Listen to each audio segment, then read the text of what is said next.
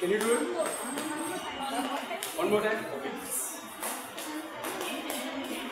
I take two balls in my dominant hand, which is my right hand. This is my first ball, which is my away ball. So I close the ball. This will be my third ball. One, two, three. Alternate. One, two, three. Yeah. Make sure you follow the rules. The ball has to go above your head when you throw. Did it go above your head, man? No. It. One, two, three. Like this. One, two, three. That's it. Yeah. Give it height. You're stopping at your nose level. I want it to go above your head and come down.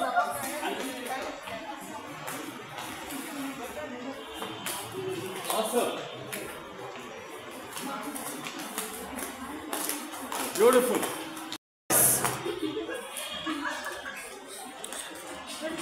Take a bit of your. What about you? Come on, do it, do it. Don't give up. Wow.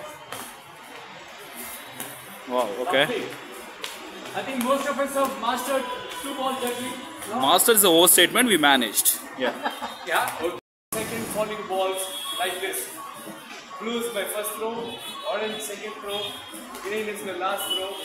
I'm going to throw all the three catch, blue and orange, leave the green to go up and fall down in my fall zone. Like this. One, two, three. Lovely. Perfect. Throw the third also. No, he didn't. Yes. Catch only the first and second.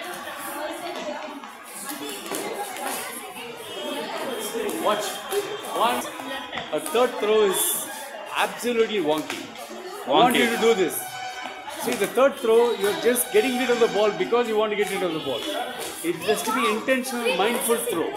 One, two, three. Mindful throw. One, two. Lovely.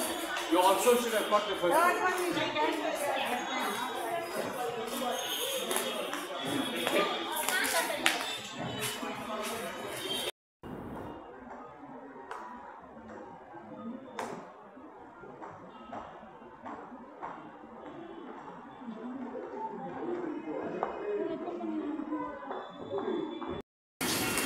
Remember to release the third ball.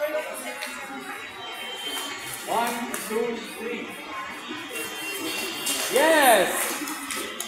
That is two by four of three ball. One, two. Yes!